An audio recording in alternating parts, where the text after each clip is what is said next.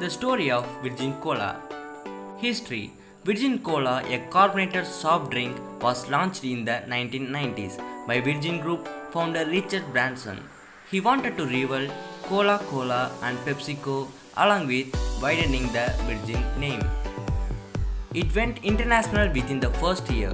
It was the first sold on Virgin Atlantic flights, Virgin Cinemas, and also on Virgin trains.